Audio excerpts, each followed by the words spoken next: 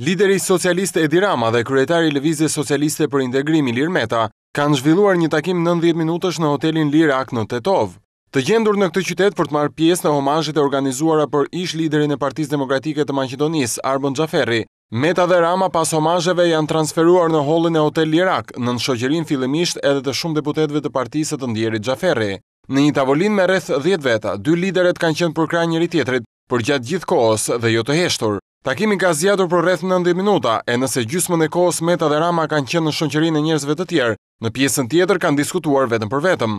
Biseda mes tyre duket se ka qenë interesante, duke marrë parasysh që si Meta ashtu edhe Rama nuk morën pjesë në ceremoninë e varrimit të Arbën Xhaferrit. Gjatë kohës kur po zhvillohej ceremonia e varrimit, kreu socialist dhe ai i Lëvizjes Socialiste për Integrim gjendeshin në restorantin e hotelit Lirak dhe në tavolinën e tyre herë pas here Ulej edhe një mik i të ndjerit Xhaferri, Miftar Nisufi.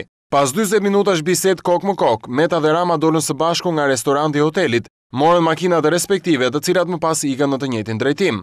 Asnjëra prej mjeteve nuk ka shkuar në ceremoninë e varrimit, kështu që mendohet se ose kanë shkuar në një kafe ku mund të bisedonin të qetë e pa bezdinë e gazetarëve, ose mund të jenë nisur drejt Tiranës.